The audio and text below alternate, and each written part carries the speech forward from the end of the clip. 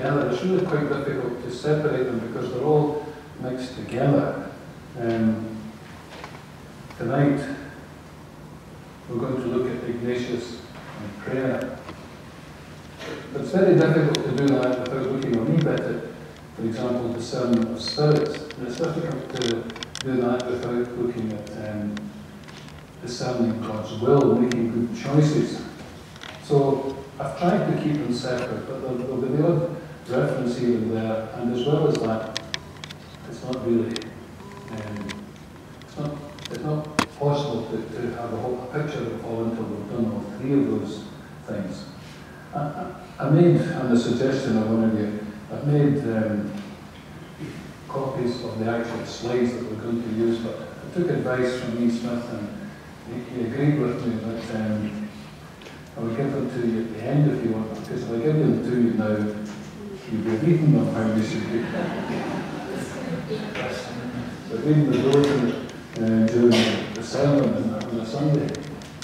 So Ignatius and prayer um, is our topic for the evening.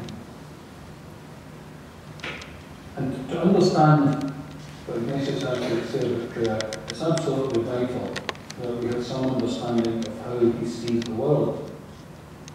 Of course, that's vital for us all. We all, we all interpret the world in different ways, and we have our own particular vision of the world, how we, how we make sense of it. Um, and until you understand what a person's world view is, it's very difficult to understand that person. So the first thing we have to establish is how Ignatius sees the world. I was going to put up there the meaning of life, but it's a bit of a cliche that, you know, so I, tried to avoid it. But fundamentally, that's what it's about. And we find that in what's known as the principle and foundation in the spiritual exercises. It comes at the beginning. It's a very quite intellectual, cold even description of how Ignatius sees human existence.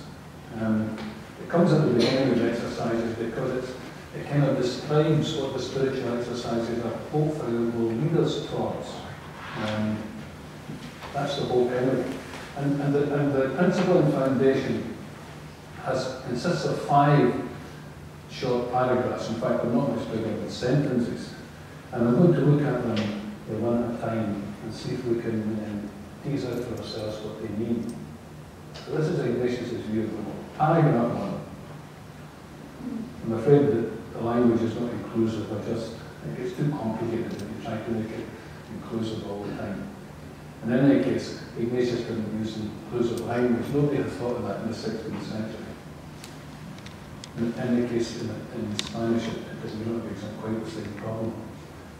Anyway, man is created to praise, reverence, and serve God our Lord, and by this means to save his soul.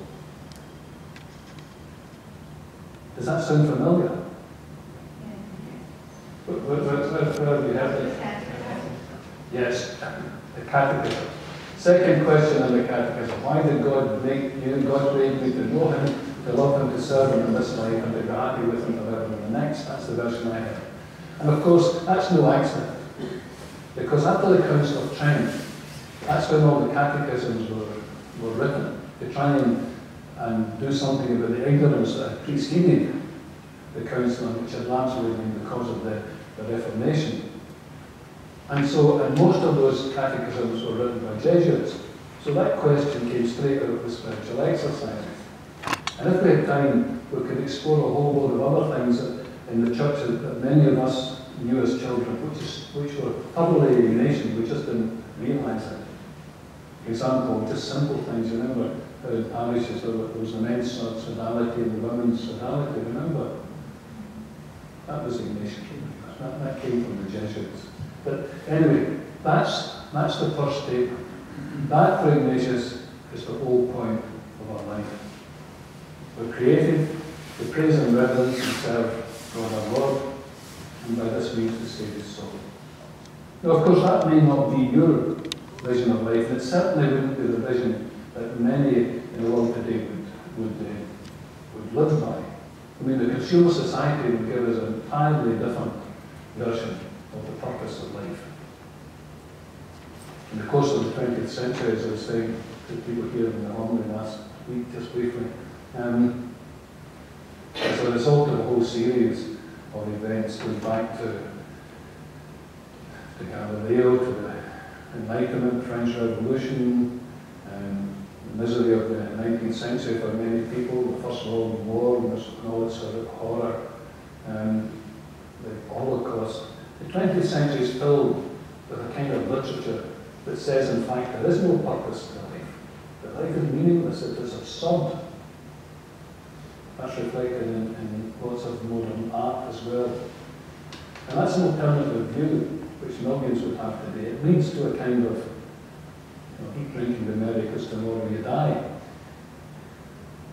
So everything depends really on, on our view of the world, how we interpret our own life and our own experience. And if, if a person, if anyone here, if you're not at least vaguely in tune with that, then not much that Ignatius will say afterwards will make much sense because that's the cornerstone of it.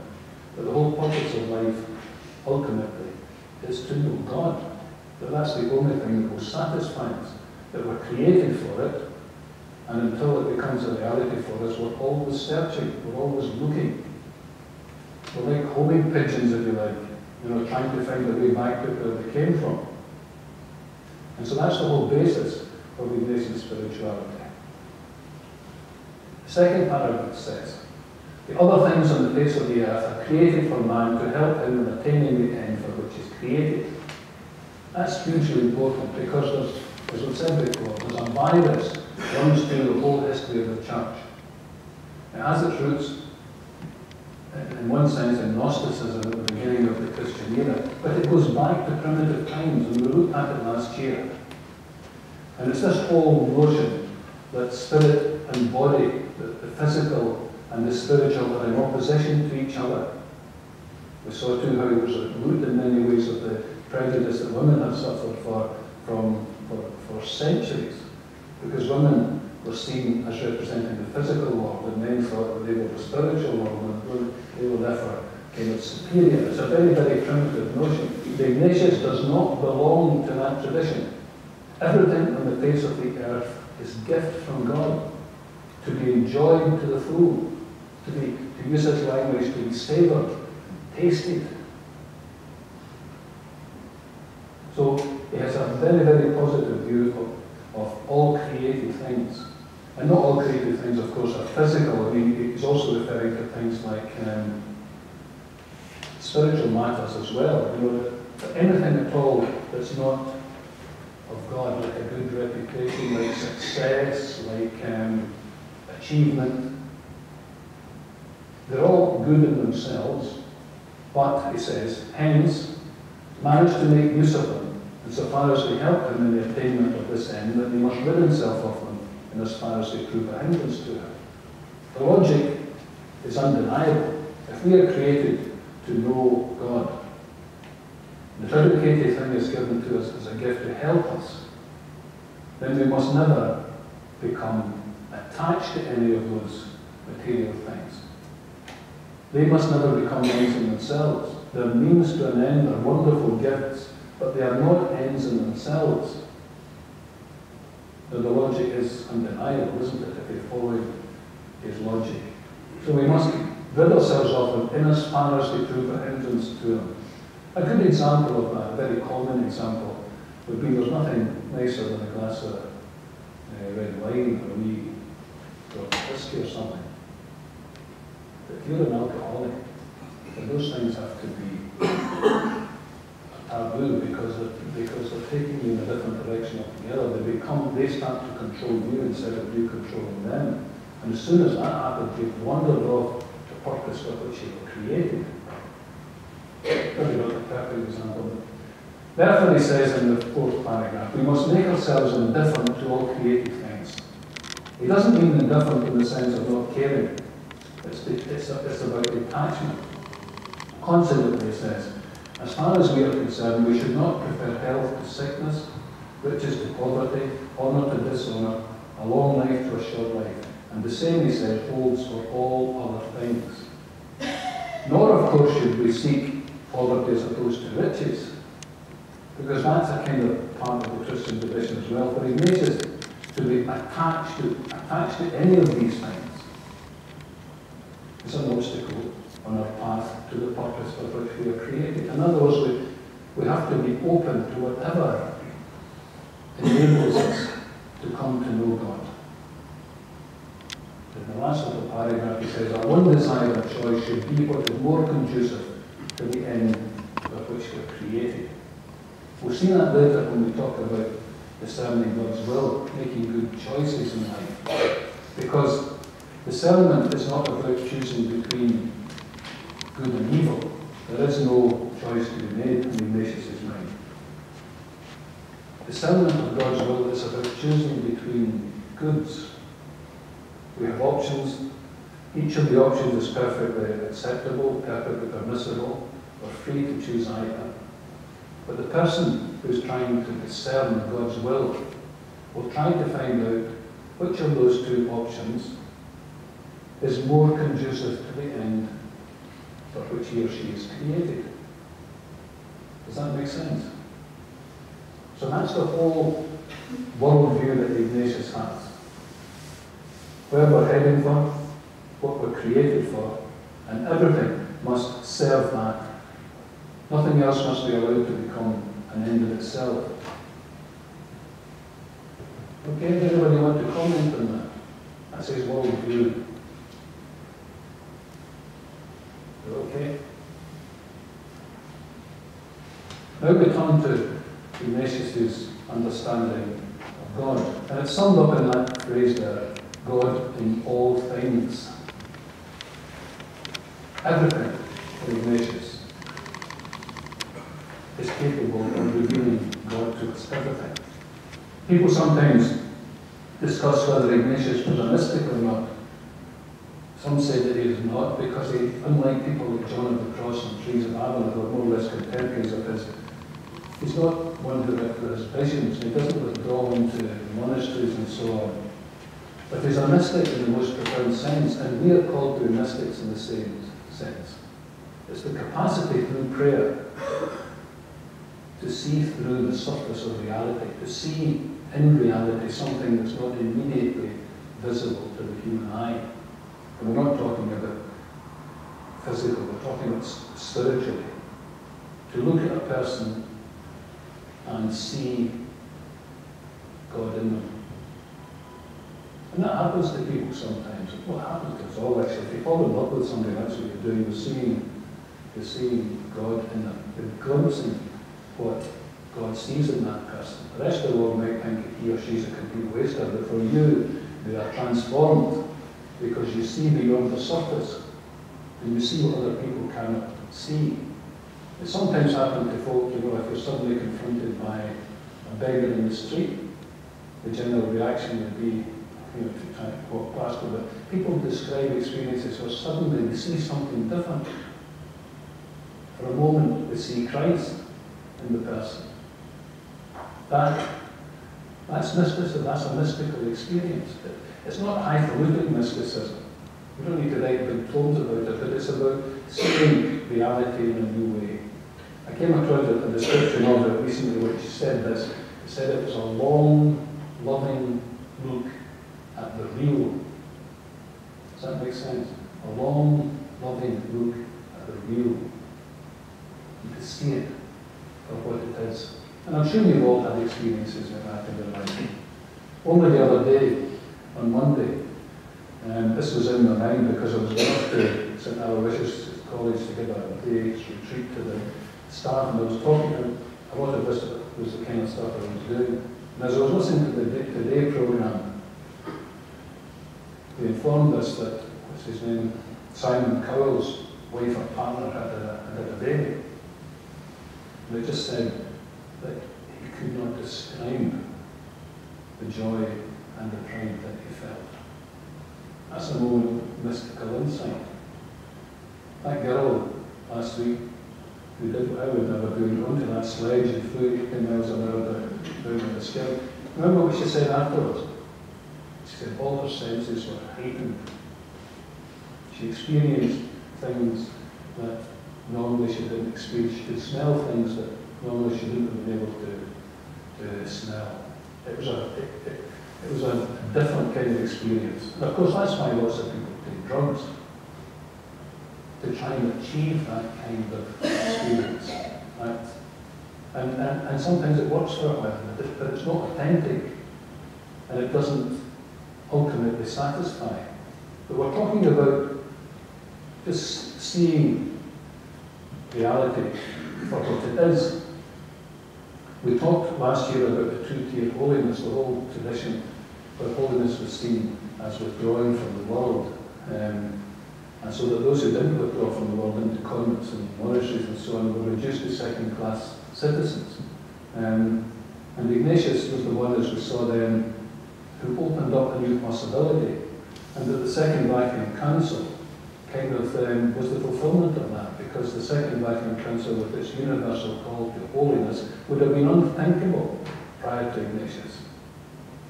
Because he is the one that opens up the possibility of holiness for anybody, at any place, at any time, because everything is filled with God. God is, we learned in the Catechism, God is everywhere, but we didn't really understand what that meant. God is everywhere.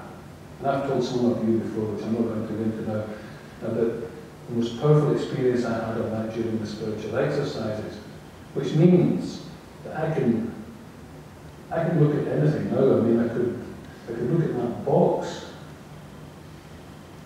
not the seeds box, but because I remember, I know that that box heaves with God. Because I had an experience where the whole world heaved with God. And once you've had that once, you never forget it.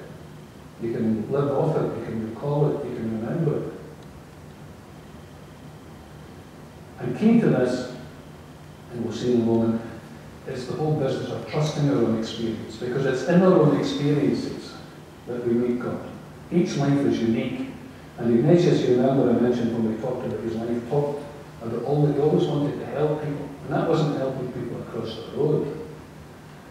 What he wanted to do was help them to discover their own uniqueness, to become the people that they were created to be. That was his dream for every, for every human being. And it's, and it's through doing that, it's through taking our own experience seriously, that we that we come to know God. It's by discerning that experience. It's by sifting through it. Because not everything we experience is from God. We sift through it. We're looking for signs of God. Another phrase I came across recently was, said it was like rummaging through a drawer. It's, you know, no, it's like it's a mess and you're rummaging through looking for something. And looking in our experience for God is like that.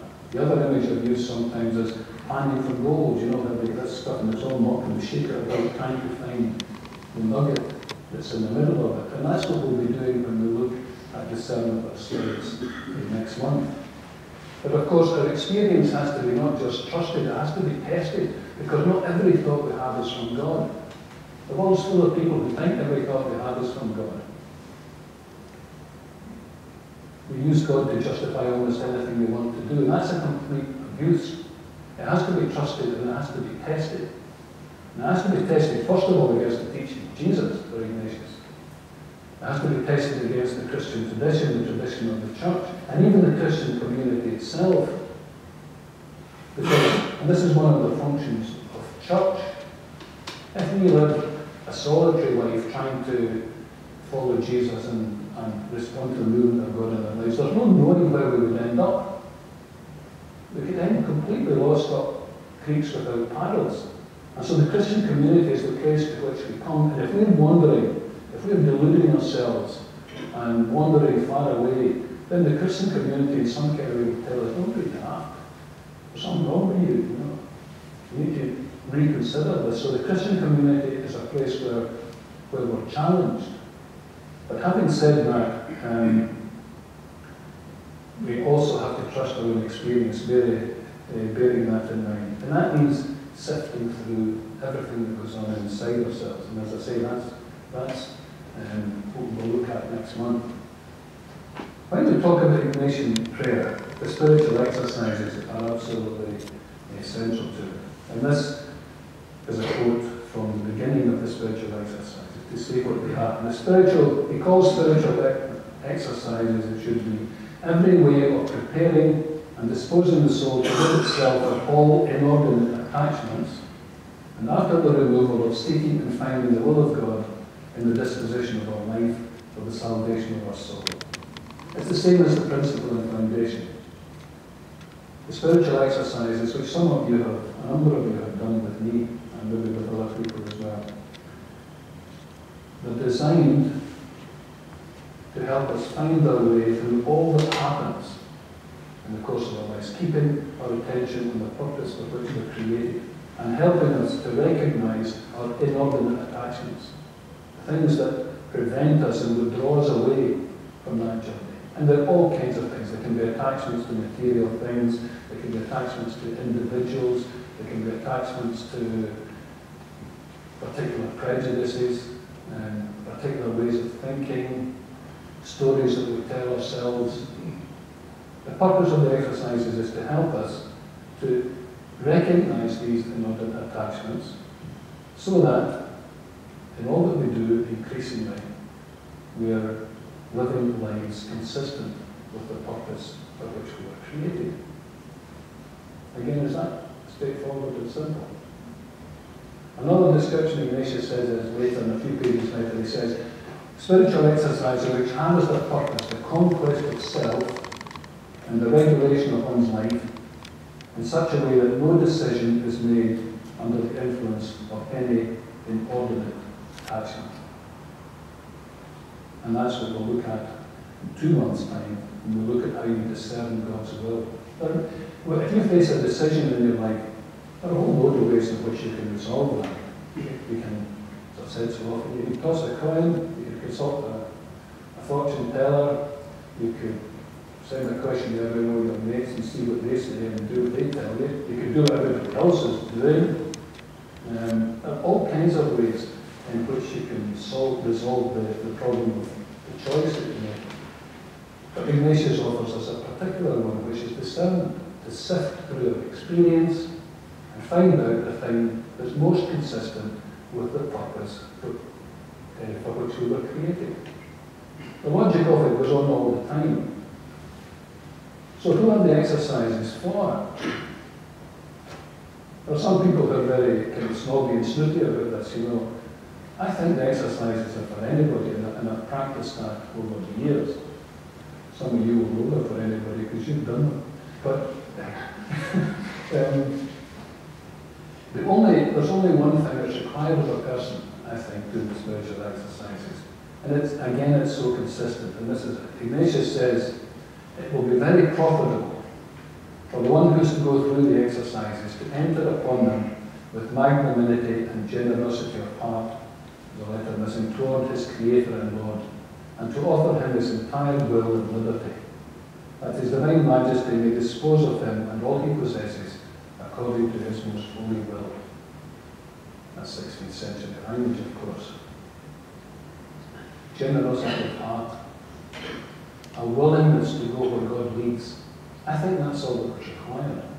I remember actually experiencing that in the most amazing way because in 1989, when I was going down to Wales to do the spiritual exercises, I met a friend of mine, Dan Haney, who some of you might remember. We had lunch in, uh, uh, Gretna, because he was in, in uh, Annan at the time. Had lunch in Gretna, and then I went off to the M6. And I remember receiving that grace in the most amazing I just, something happened to me, and I had a sense that whatever the next three months holds, I'm open to it. And that's all that matters. That's the only thing that matters. You notice that's called the fifth annotation because at the beginning of the book of the exercises there are 20 notes. They're called annotations of this translation of the Spanish word. And in the 15th annotation, Ignatius writes, While one is engaged in the spiritual exercise, it is more suitable and much better that the Creator and Lord in person communicate himself to the devout soul in quest of the divine will. In other words, the spiritual exercises are about a spiritual experience, they're about a relationship between the individual and God.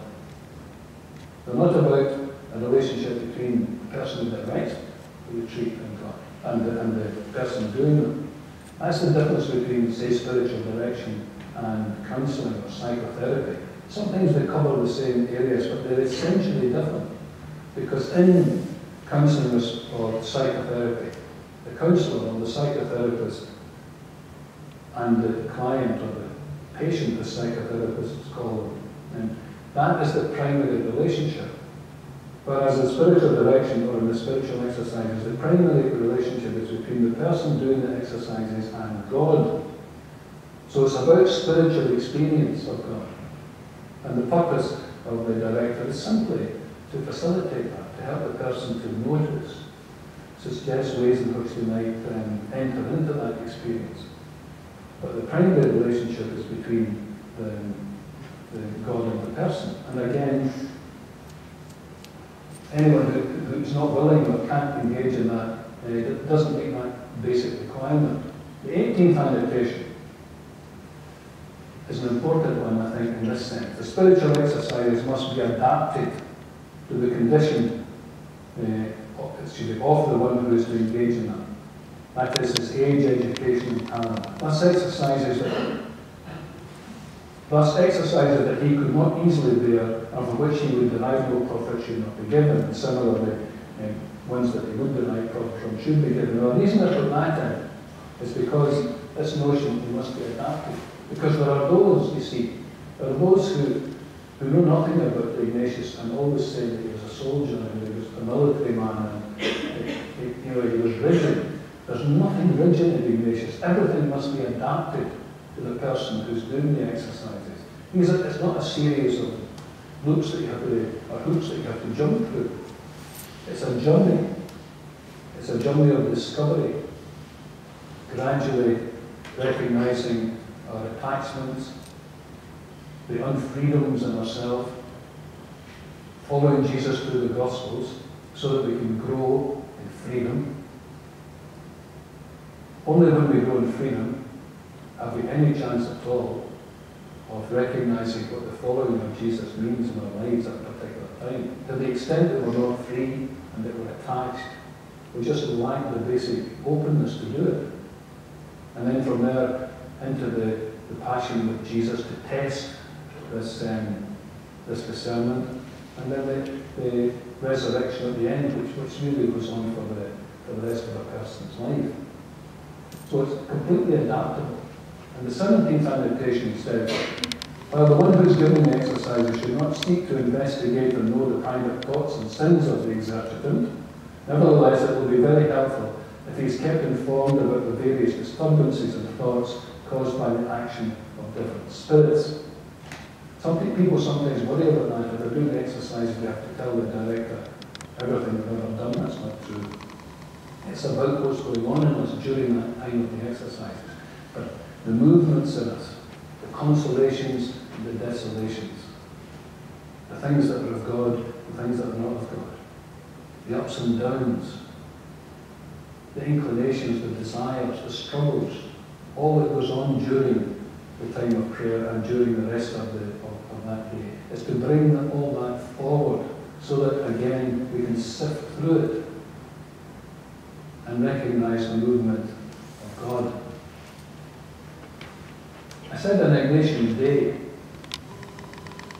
I'm thinking there of a person who's doing these spiritual exercises which are so central to Ignatian prayer.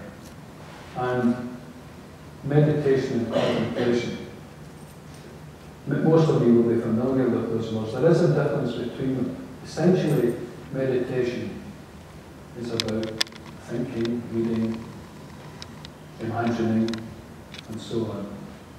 And Ignatius encourages that in people doing the exercises, especially at the beginning of the day or the beginning of the week. He would invite you to take a, a scripture passage to read over it. Some of you do that. And if you go to Mass on a daily basis or a weekly basis, you're all the time being exposed to the Scriptures. It'd be great if the Scriptures played a much bigger part in the life of Catholics. But we're getting, we're moving, we're getting towards that. Uh, it's taken maybe 50 years since the Council, but the Scriptures are starting to play a bigger part in our lives. And meditation is about working on the Scriptures. But Ignatius' vision of how this will develop is that it will gradually become simpler. That we'll stop, we'll move beyond thinking, we'll move beyond reading. And there'll be moments of contemplation when something just is clear to us. And we bypass all those, those kinds of knowledge and we do what the word says it, we contemplate, we just look, we just look at something rather than think about it. So that's always the aim, is towards contemplation. Imaginative contemplation. This is very central part of Ignatius' teaching and prayer. He's very, very keen that we imagine our way into the scriptures. So he encourages us to read the scriptures, to begin to see the scene, everything, the colours, the sounds, listen to what people are saying, enter into conversation with them. And those of you who have done that will know from experience what an amazing thing it can be sometimes.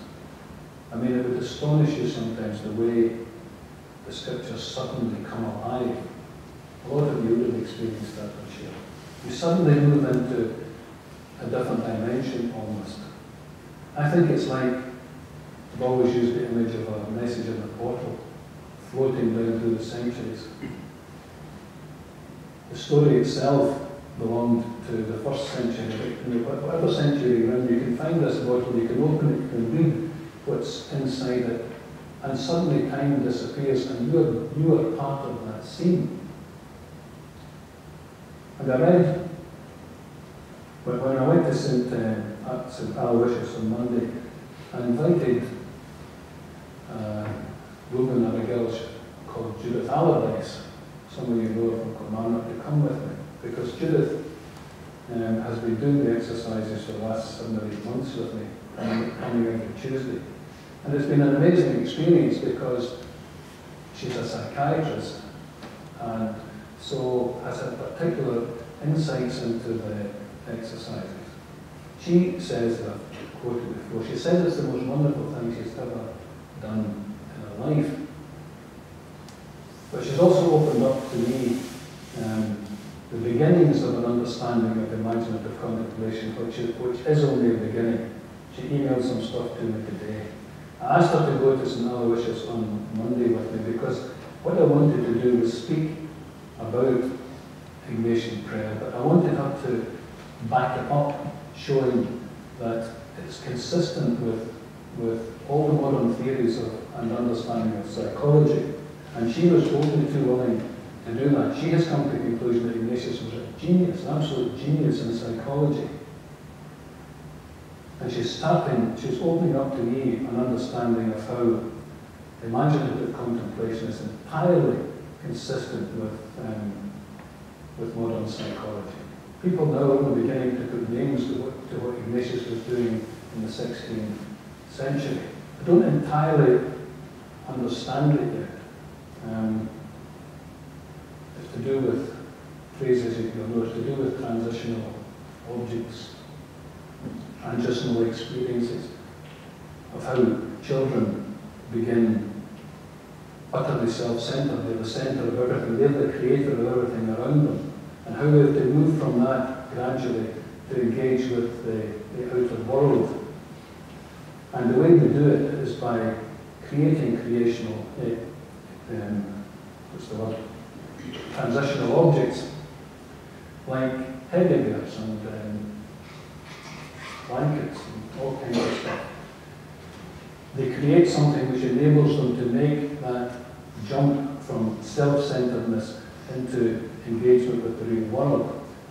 And according to the, these theories, that place in the middle is where imagination and art and literature and so on allows us to change, it allows us to be transformed. But not only that, Judith tells me, she's, she's, she's more of a research psychiatrist, and uh, she says that, that neuroscience is starting to confirm the same thing, you know, because when they put all these things up in people's heads and they, they watch their brains bits lighting up and all the rest of it, the brain doesn't only fully lights up when it's engaging with that transitional space. It's a fascinating notion, and if I was doing this course next year, I'd probably have learned more about it, but then I would have something to say. But I want you to realise that, that, that this whole thing of imaginative contemplation opens up worlds to us um, which we're only beginning to understand. I mean, the whole reason you're here tonight and I'm here tonight is because of a moment like that, which I've mentioned before, but I'll tell you again. I was, one particular day during the spiritual exercises, I was praying the story of the marriage feast at Cana. And I mean, there's lots in that story, and, and it had been fruitful. I had prayed for four hours. I don't mean four separate hours, not four hours all at the same time. And when I got to the end of the fourth hour, I thought there was nothing left in that story.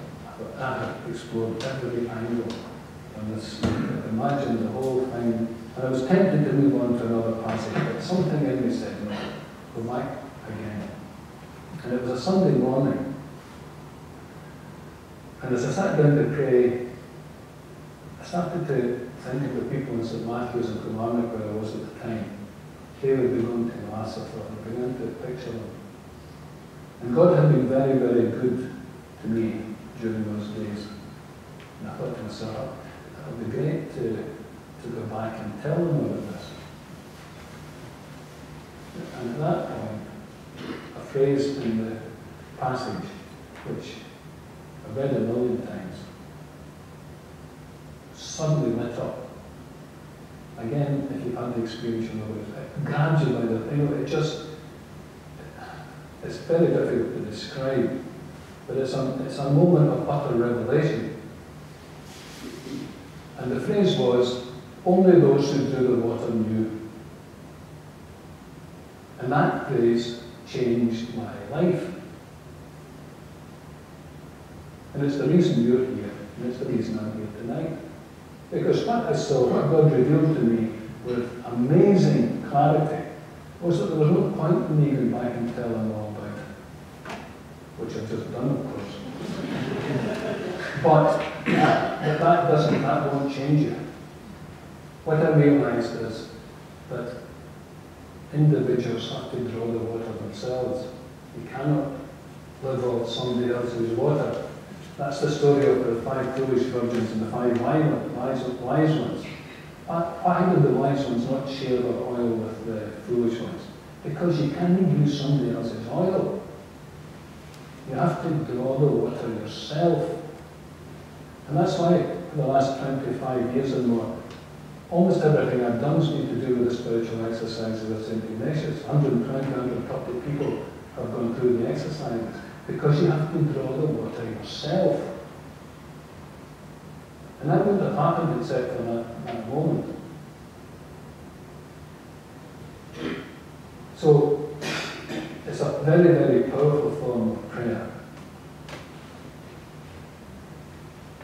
The thing, of course, which Ignatius um, emphasizes, and I talked about this in a homily a couple of weeks ago, was, was surprised is the examen of consciousness. Ignatius, despite the fact that during the exercises he lays down uh, a structure which people uh, are invited to conform to. You don't have to. You don't have to do it. If you do the exercises, part of the deal is that you stick to the structure more or less that he has that he has laid out. But outside the exercises, he was very loath to tell anybody how to pray. People have to pray their own way. They have to live their own lives. They have to find their own methods. They have to, they have to, like St. Francis Xavier, there's a particular case. St. Francis Xavier was wandering around South India and China and so on. Ignatius realized that the mature disciple had to sort all that out for himself. But the one thing he insisted on the Jesuits doing was the examen of consciousness. The examen of consciousness is that rummaging through the drawer. It starts from the premise that whatever, that every single one of us here has lived through this day. Ignatius has no doubt, and I don't have any doubt either, that God has been in the life of every person here today and every day. And the examen of consciousness is, is a, a tool for getting in touch with that. It's a reflection on the day. And the five stages of it, which become second nature if you do it regularly, is first of all to thank God for his presence in the day. In other words, you're acknowledging that whether you saw him or not, he's been there. And then, and then the second stage is to seek enlightenment. Because it's not just you looking through your day. You're asking the Holy Spirit to guide you as you look through your day and draw your attention to what's significant. And then the, the bulk of the exercise, which needn't take any more than five or ten minutes, is to review the day, to replay the video the DVD of the day, to go back through it and to allow God to draw your attention to significant moments in that day. And then to look at those moments, to recognize times when the Spirit of God was moving in you. And again, I haven't fully explained how you would know that because that's part of the discernment of spirits that we do, we're going to do next month. So we can't do it all tonight. It's to recognize the, move, the movement of God. And to recognize also what Ignatius would call the counter movement, which is inviting you in the opposite direction. To notice those movements, how you reacted to people, how you treat them, the thoughts that go through your mind at significant moments. Will these destructive thoughts, will they constructive? Will helping people, or will they have no use to anybody? Will they harming you and others? Just to notice all that going on. And then, having recognized it, having acknowledged it, to turn your attention to the next day. Because generally speaking, we do the same things every day, most of us. We go through the same processes. And so by, by identifying what has been going on in one day, you prepare yourself for the next day. And so day by day, day by day, you grow in the capacity to discern, to recognize what's going on in yourself. Become more and more free of the attachments that, that cause you and others harm.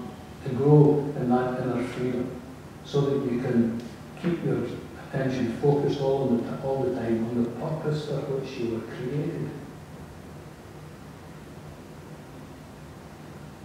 Which means that next month we will um, look at the discernment of spirits. So if I could take you back to the very, just back to the very beginning. And look again at the first paragraph. We're created to praise, reverence, and serve God our and with His grace to save our soul. If that's true, and I repeat, there are many other versions, but if that's true,